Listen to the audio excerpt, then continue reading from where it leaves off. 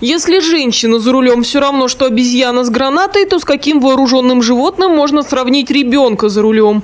Во вторник на улице 10 проезд 14-летний подросток на мопеде врезался в двигающийся ему навстречу автомобиль Volkswagen. При этом несовершеннолетний участник движения нарушил сразу несколько правил. Во-первых, в силу своего возраста он вообще не имел права садиться за руль.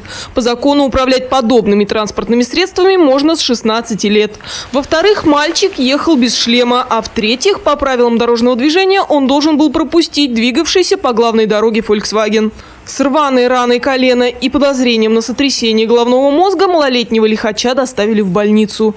Полученные травмы, скорее всего, не единственное его наказание. Наказания грозят прежде всего его родителям, поскольку если мальчик уже ранее совершал э, нарушение правил дорожного движения э, 3 и более, то его дело будет передаваться на комиссию по делам несовершеннолетних, которая э, может вынести решение по статье 5.35 Кодекса об административных правонарушениях и вынести наказание родителям в виде штрафа в размере 500 рублей. Кроме того, родители э, будут оплачивать ущерб, который причинен транспортному средству.